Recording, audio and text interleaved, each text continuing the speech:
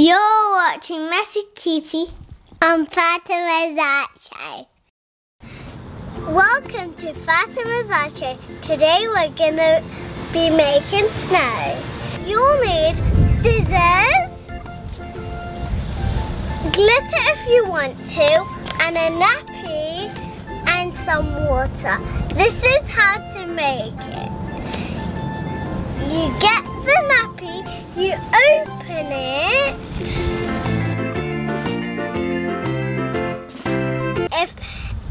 It's too hard to do it with the scissors, you could just do it with your hand.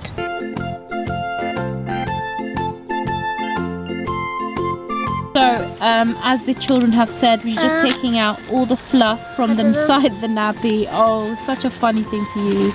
You don't need to use expensive nappies. You could just buy some cheap ones. Here I've got some everyday value Tesco nappies. So we're just going to be using these. It's quite funny because I don't buy nappies anymore for my children.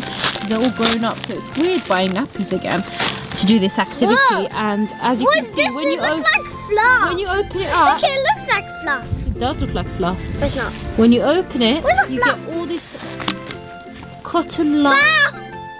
texture, and you just want to put it in a tray. So we're just putting it in a tray now. Where is the fluff? So here I'm just giving it a good mix, and you can see a salt-like texture had come out and my son's going to be adding some water.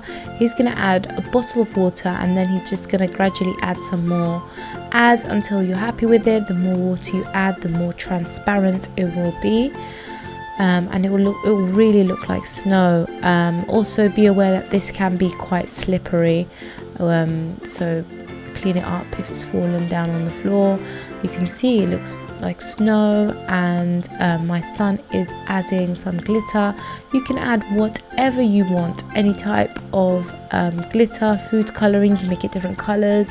You can even give the children toys to play with and it's a really fun messy activity. Okay people so can you guess which one is the real snow and which one is the fake snow? So here we've got snow A.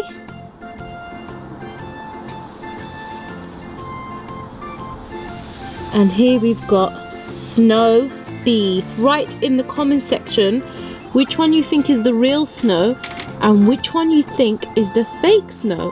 Also you might think both of them are real or you might might think both of them are fake so why don't you just comment down in the comment section and let us know it's lots of fun to do this so I hope I get some nice answers Thank you very much for watching and don't forget to click the like button.